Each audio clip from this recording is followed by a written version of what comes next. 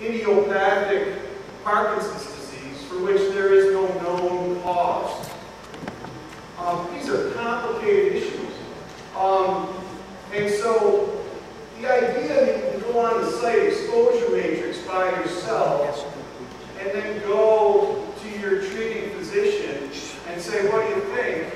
And then your doctor says, yeah, I agree with you. You were out there, you were exposed to all sorts of stuff. I'm going to write a letter and, and we'll see if we can't get this claim paid. Well, those letters, they need to be well rationalized, and they need to comply with the uh, requirements of the program. We, we see letters all the time from doctors that say, it's very possible that my patient was exposed to this or that toxic substance, and therefore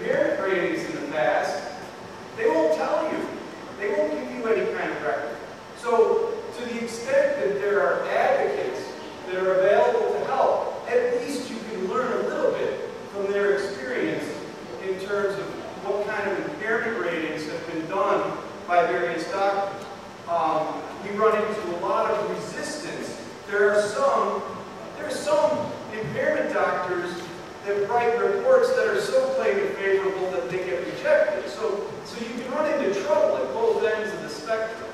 But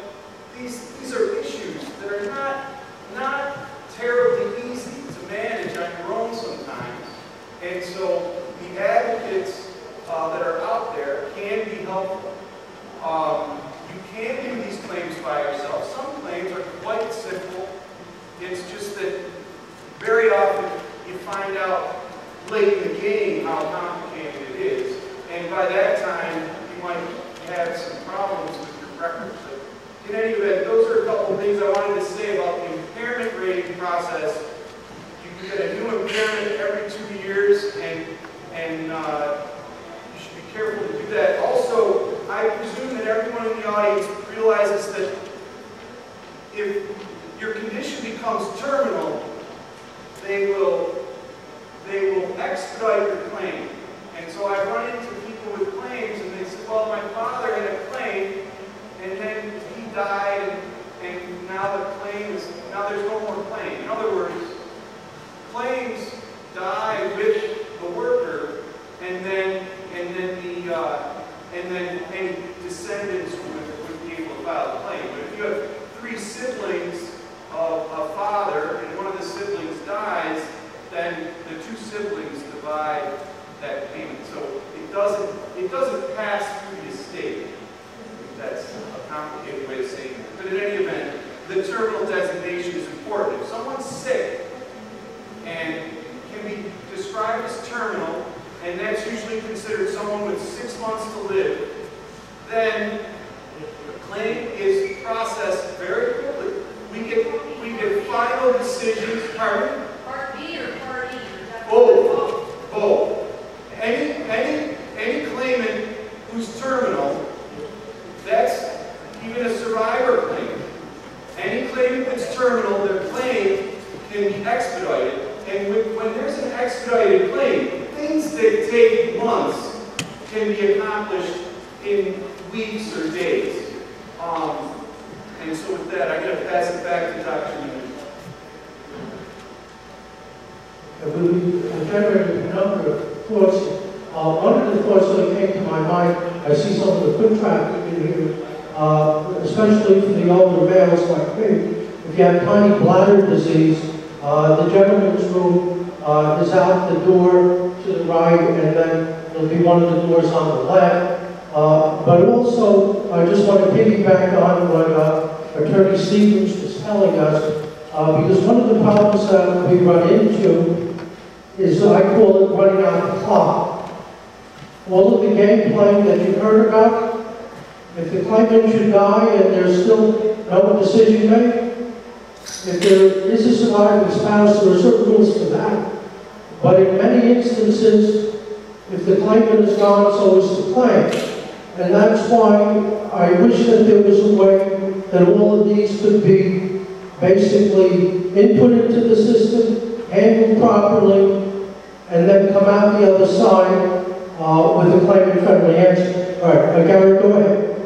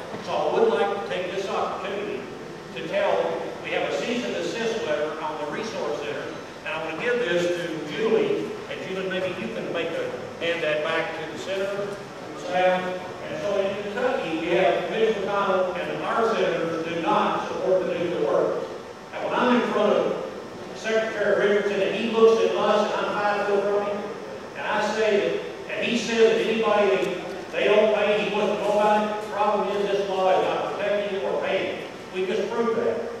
Uh, Gary, the. Gary, we need to hear from these people well, here. We, and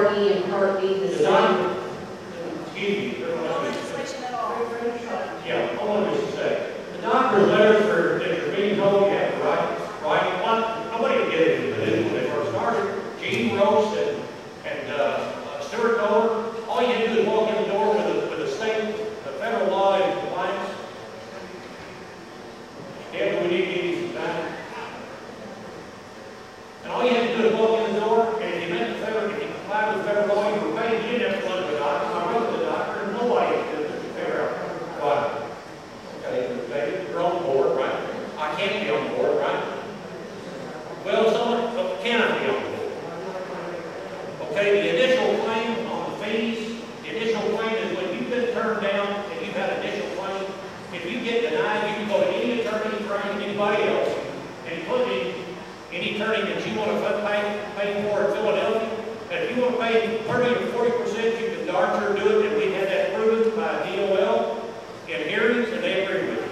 So when you hear the rumor that some Commonwealth is charging you too much, if it's not, if you get paid, I don't think you're ever going to worry about being charged too much, but you don't have anything now.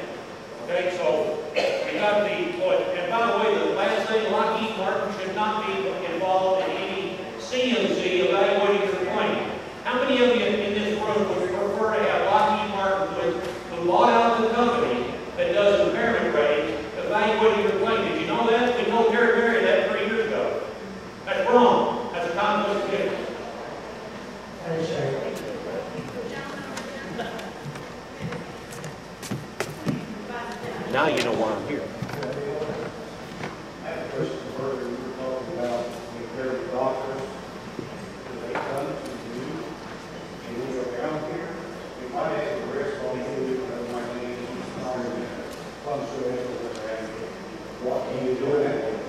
I, think I heard the question. I think the question is, is it possible to hire a doctor that is not close by that you can work with in, spite of the fact that there's some distance and the claimant, the worker, is not prepared to travel?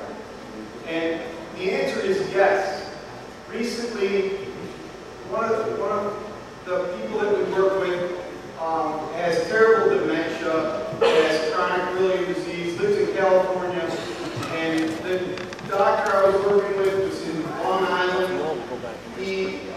works in a former worker program, who's familiar okay, with the program, knows how to write and parent rating. He ordered the test for the gentleman in California. The test for.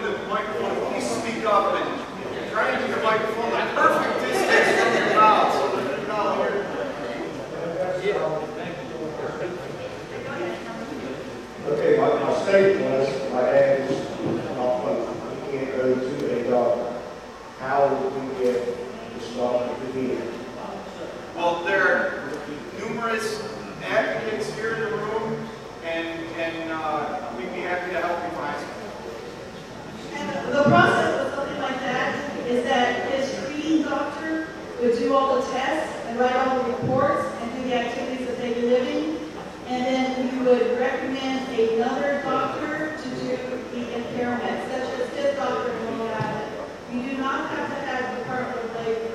Where it gave you the form, you a choice. You can put another doctor, but you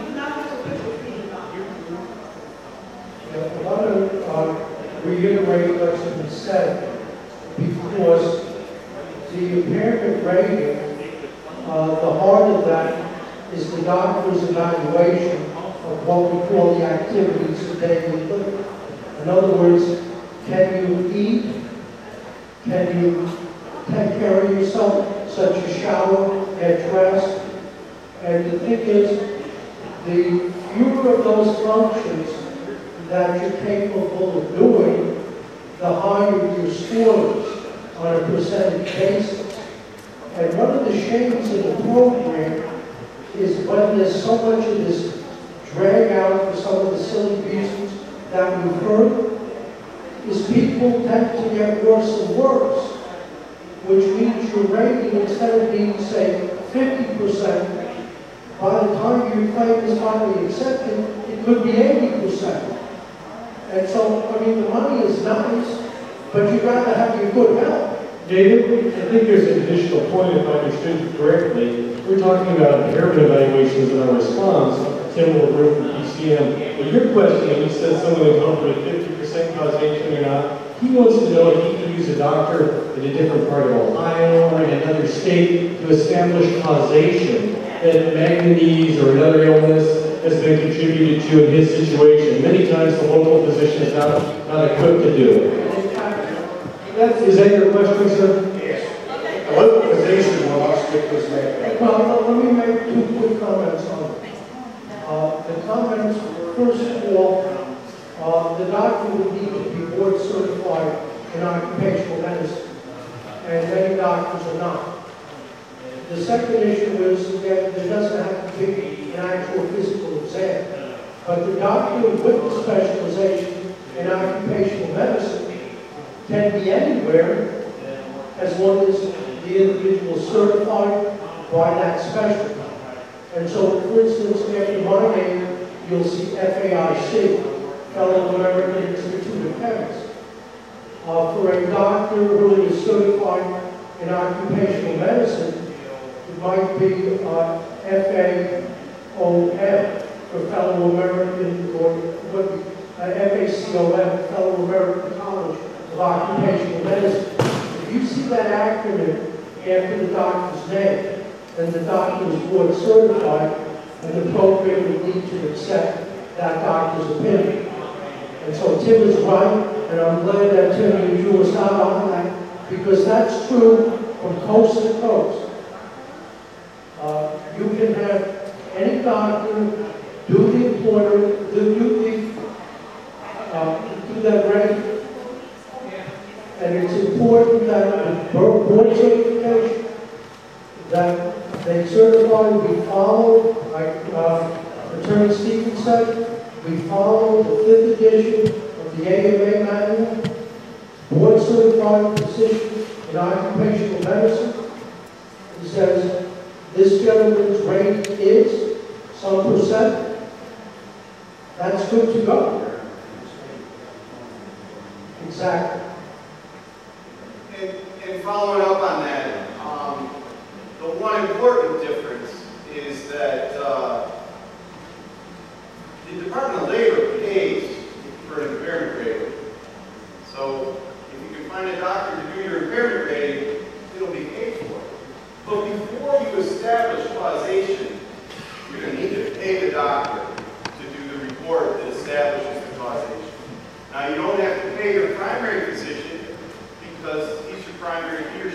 primary physician, and they're already paying, they're, they're already being paid to treat these conditions.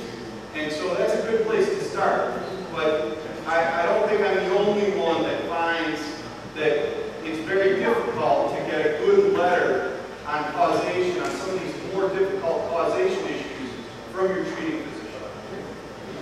Well, we've had the hearing, and we're still waiting on the final decision. Well, and that's, that's another point.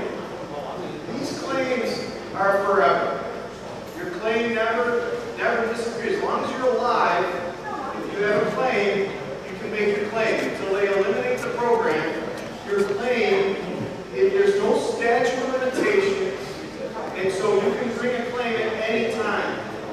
So you get your final decision, and you feel like, well, that's it, but it's not it.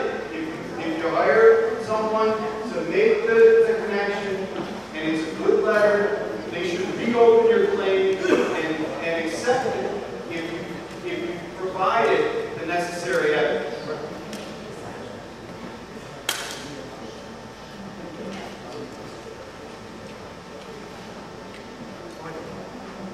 Uh, You